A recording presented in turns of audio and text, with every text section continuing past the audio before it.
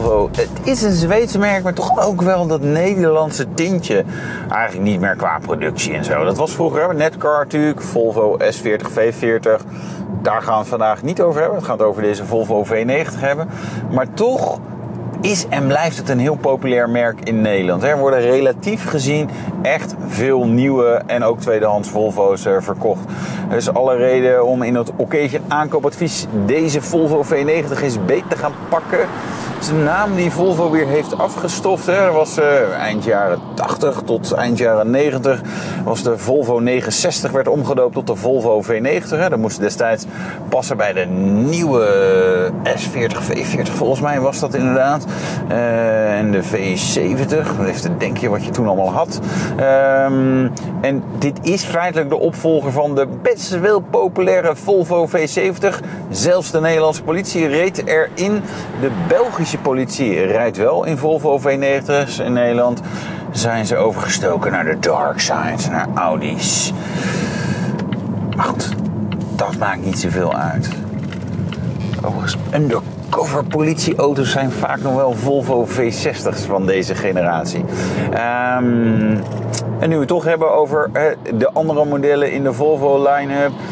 Um, Volvo heeft het platformdenken en het hergebruiken van al die Lego-blokjes lekker ver doorgevoerd. Ik denk dat het ook slim is in de huidige tijd.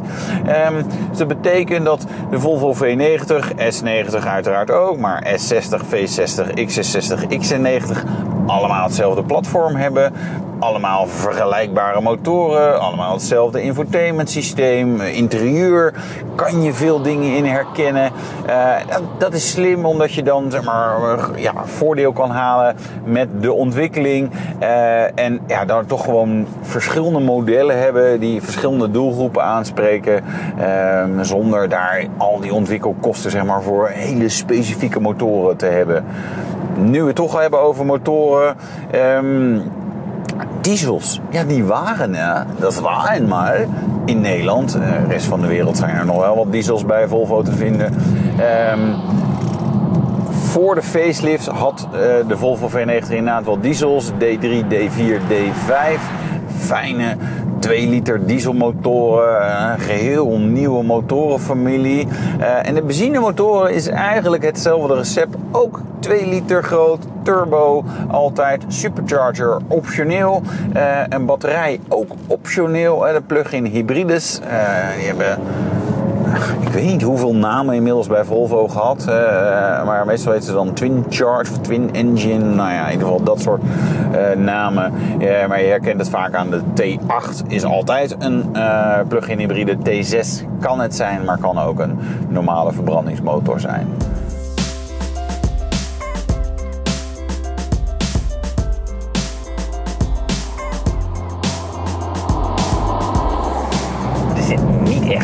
Motor bij of je denkt, oh wat lekker, wat klinkt hier goed en inspirerend. Maar goed, dat maakt de gemiddelde koper blijkbaar niet zoveel uit, want het gaat Volvo bijzonder goed op de Nederlandse markt. Na de facelift kwamen er weer wat andere uh, aanduidingen. Er kwam er B3, B4 uh, en B5, of misschien kwam B3 dan weer niet. Nou dat zien jullie in het tabelletje wel. En dat zijn eigenlijk de mild hybrids. Uh, dus die zijn niet echt hybride, maar kunnen wat agressiever elektriciteit terugwinnen en dan ook een beetje helpen bij het accelereren. Dat scheelt simpelweg in het verbruik. Het aanbod van de Volvo V90 op Marktplaats, ja, best ruim. Want dat zijn natuurlijk grote, best prijzige auto's ook in zekere zin. Uh, Zo'n 140, 150 stuks, waarvan nog best wel wat diesels. Ongeveer de helft van het aanbod. Je zou verwachten dat je wat meer plug-in hybrids terugvindt. Maar dat, nou, dat komt dan later waarschijnlijk nog wel. Uh, prijzen, ja, vanaf zo'n 30.000 euro. En dat loopt behoorlijk op. Want deze generatie V90 is nog nieuw te verkrijgen. Zal ah, met een jaar of twee waarschijnlijk wel vervangen worden. Misschien duurt nog iets langer. Um, door weer een geheel nieuwe generatie. Van deze generatie Volvo's, de XC90, was de eerste die op de markt komt. En was ook de eerste die gaat worden vervangen op termijn. En die termijn schijnt vrij kort te zijn, ergens in het komende jaar.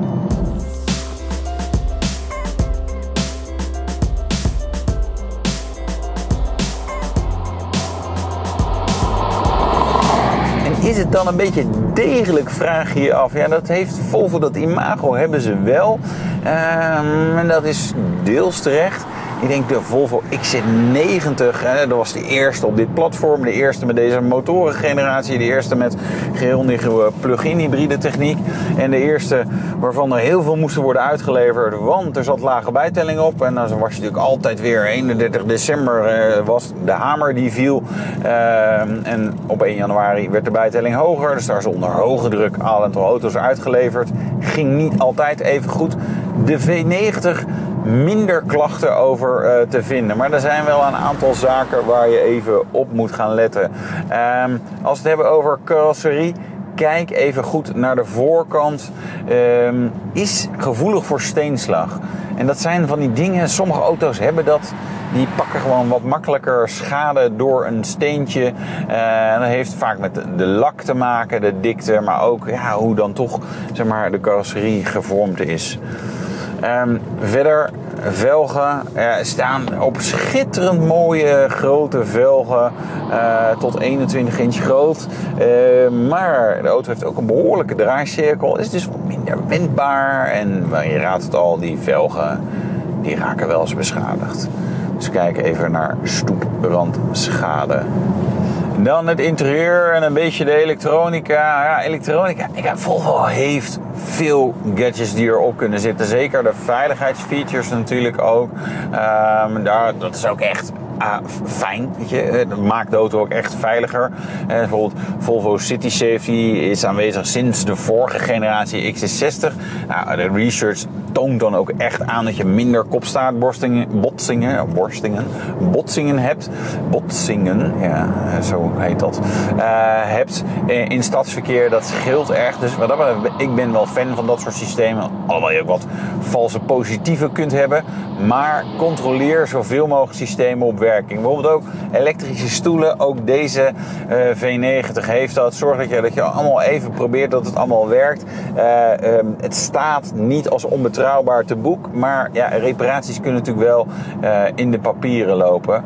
Dan het panoramadak, optioneel. Um, bij iedere auto wel een ding. Wat kan lekken? En hier gaat het vooral om de afwatering. Dat geeft dan kleine lekkages. Maar check even of die rails een beetje netjes eruit zien. Of er geen rotzooi in zit. Uh, en of je misschien al rare vlekken ergens in de hemel ziet. Want dat kan een indicatie zijn dat er een lekkage toch aanwezig is. En nu we toch over vlekken hebben. Uh, en geldt denk ook voor deze Volvo V90. Ze hebben veel lichte interieurs. Ik vind het mooi. Het, het, is iets Zweeds, maar. Ik zou bijna zeggen grenenhout, maar weet je, de, lichte houten kleuren, lichter lederkleuren. Maar het is ook wat besmettelijker. Veel Volvo V90 zullen ook uit de lease zijn gekomen. En mijn collega Jan Willem, die wat research hierover deed, schreef dan op: ja, die lease-rijders zijn natuurlijk allemaal honden die die kunnen ook achterin hebben gezeten, maar um, die die auto misschien niet wel zo netjes schoon hebben gehouden. Uh, en het echt weer schoon krijgen, als dat al jaren in heeft gezeten, kan verrassend lastig zijn. Dus kijk even naar de staat van het interieur. Dan qua aandrijflijn, vooral de diesels een aantal aandachtspunten. En dat komt misschien ook wel omdat ja, die hebben dan meestal wat meer kilometers uh, gemaakt. Um, zelfontbrander is een diesel. Nou, dat kunnen ze ook heel goed zonder dat dat de bedoeling is. En dat heeft te maken met het kunststof inlaatspruitstuk. Dat lijkt heel gek dat dat erop zit, maar dat is niet zo. Er zijn heel veel merken die dat doen. Het is een prima materiaal. Uh, goed isolerend, goedkoop om te maken, licht. Maar als je niet het goede kunststofje pakt, dan kan dat natuurlijk wat minder goed tegen hitte. Nou, dat was het geval bij sommige van de, de inlaatspruitstukken van de diesels. Dus die kunnen uh, ja, gaan smelten. Uh, dat is natuurlijk niet zo prettig. Dat zou je ook moeten ruiken. Uh, maar misschien ook wel even goed om toch de motorkap open te trekken en eventjes te kijken. Injectoren van diesels, dat is overigens bij veel merken een issue. Zeker hoge kilometerstanden kunnen die defect raken en ze zijn duur. Dan nog een puntje rond de remmen. Nou, die lusten ze wel. Het slijten relatief snel. Waaronder ook de klauwen. Het, is allemaal voelt wat minder degelijk. Dus dat is wel een ding om te kijken. Uh, afhankelijk van de kilometerstand, wanneer die vervangen zijn. Uh, anders komt dat er natuurlijk aan.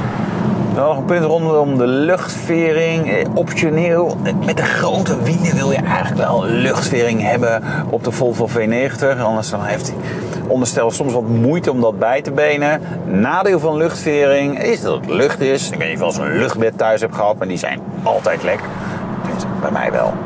Dan koop je weer een nieuwe die is ook weer lek. Dan heb je een een of ander ding voor in het zwembad, dat is ook lek. Zo erg is het zeker niet bij onderstellen, maar uh, het kan lek en dat gebeurt een keer. Uh, als je er 200.000 kilometer mee rijdt, dan zal je ongetwijfeld een keer iets hebben met de luchtvering. Het is wat dat betreft uh, toch een soort slijtageonderdeel. Uh, dus daar moet je even rekening mee houden. Als je dat allemaal niet wil, dan moet je voor een ander exemplaar gaan. Dan zijn er nog allerlei recalls geweest. Uh, goed om even te controleren of de auto die jij op het oog hebt, die allemaal heeft gehad. En anders kan je nog even langs de Volvo dealer om een aantal te gaan laten uitvoeren. Rond het navigatiesysteem. Ik ben er altijd wel fan van geweest van dat scherm wat zo rechtop staat. Hè. Dat is een uh, portrait mode. Ik dat wel prettig.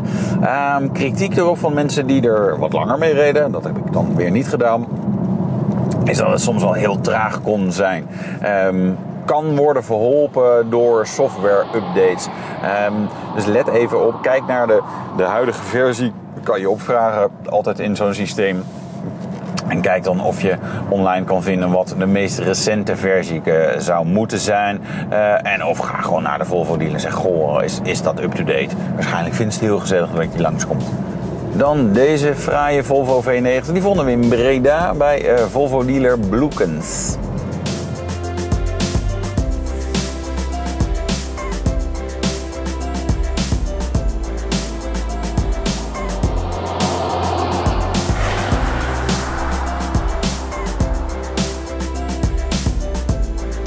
Ben je op zoek naar een tweedehands auto en wil je onze hulp? Of ben je een autobedrijf en heb je een hele leuke occasion staan waarvan wij een video mogen maken? Mail dan even naar tipsetautoblognl